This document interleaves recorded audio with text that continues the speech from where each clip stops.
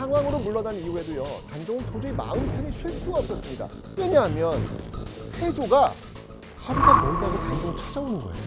바로 상황이 된 단종을 챙기겠다면서 연회를 연 겁니다. 어떤 상황인지 아시겠죠? 아, 명분을 엄청 따지는 사람인 것 같아요. 내가 이렇게 조카한테 잘하고 있다. 그래요? 이렇게 보여주기 포장하는 거 아닐까요? 있는 사람이 있어요? 그 옛날에는 인터넷이 없던 시대였잖아요. 네.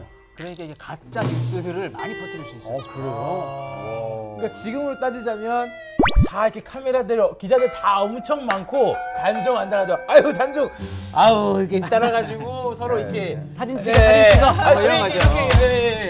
우리 이렇게 행복해. 아, 네. 사이 좋아요 사이 좋아요 자기가 그렇게 하면 후세 사람들이 그렇게 기억할 거라고 생각했나 보죠. 기록이 또 남으니까. 우리 다 알고 있는데.